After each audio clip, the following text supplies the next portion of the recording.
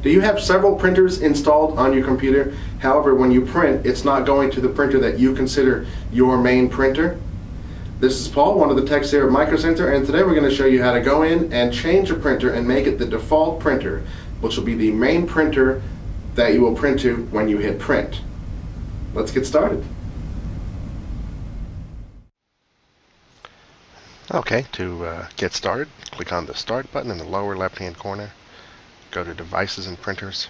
Uh, this will show all the printers that are installed on your computer. Uh, you want to select the printer that you want to print to all of the time. Right-click and select Set as Default Printer. So now whenever you hit Print, uh, this is the printer that it will print to. You can still choose these other printers on a job-by-job -job basis in whatever application you're in.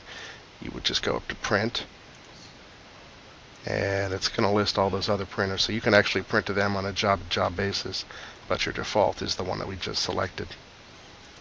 All right, that's how to select your default printer. If you have any other questions, come visit us at www.microcentertech.com.